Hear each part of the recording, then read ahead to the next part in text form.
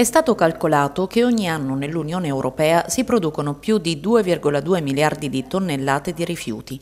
Per promuovere la transizione verso un'economia circolare, in alternativa all'attuale modello economico lineare, l'Unione Europea si è impegnata ad aggiornare la legislazione sulla gestione dei rifiuti, richiamando gli Stati membri a promuovere e applicare piani d'azione per una nuova economia circolare o modello di produzione e consumo che implica condivisione, prestito, riutilizzo, riparazione, ricondizionamento e riciclo dei materiali per estendere il ciclo di vita dei prodotti contribuendo a ridurre i rifiuti al minimo. Proprio l'economia circolare è stata al centro del dibattito che ha animato la sesta edizione dell'Ecoforum Abruzzo promossa da Legambiente. Silvia Tauro, presidente di Legambiente Abruzzo, qual è la fotografia che Legambiente eh, scatta all'Abruzzo? La fotografia che scattiamo è quella di una regione che sta affrontando un momento complesso, perché mentre ci sono ingenti fondi per l'economia circolare, tenendo conto del PNRR e della programmazione 2021-2027 dei fondi FESR, è importante però mantenere alta l'attenzione sulla governance di tutta la filiera territoriale,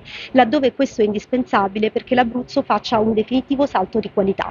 Quali sono le situazioni più complicate da risolvere sul fronte appunto dell'economia circolare? In questo momento è importante riuscire a realizzare sul territorio l'impiantistica necessaria per chiudere la filiera quindi dei rifiuti all'interno della nostra regione e farne un vero fulcro della transizione ecologica, dove l'economia circolare oggi è un elemento fondamentale per raggiungere quelli che sono gli obiettivi non solo della transizione ecologica, ma in particolare della transizione energetica e dei principi di adattamento climatico. Al termine dell'evento, che si è svolto a Pescara presso l'Auditorium Petruzzi, sono stati assegnati, come di consueto, i riconoscimenti ai comuni ricicloni. Donatella Pavone, direttrice di Legambiente Abruzzo, c'è una classifica dei comuni più ricicloni? Quali sono i dati in vostro possesso? Per quanto riguarda la raccolta ci attestiamo con un risultato più o meno invariato rispetto all'anno precedente che è del 64,2%. Per quanto riguarda le premiazioni saranno divise